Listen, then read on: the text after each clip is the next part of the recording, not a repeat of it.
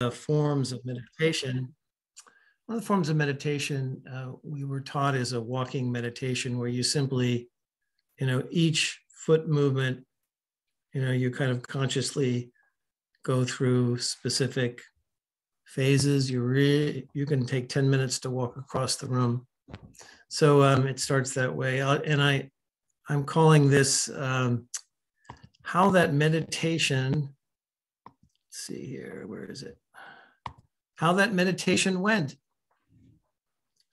Walking, lifting, moving, pressing gives way to sitting, watching, breathing, and the space at the end of the out breath gives way to knee pain, neck crick, foot cramp, gives way to worries that pass too fast to worry about, gives way to what she said to her sister, gives way to what my mother said, gives way to that smallest ache under the sternum, gives way to the certainty of this body coming apart.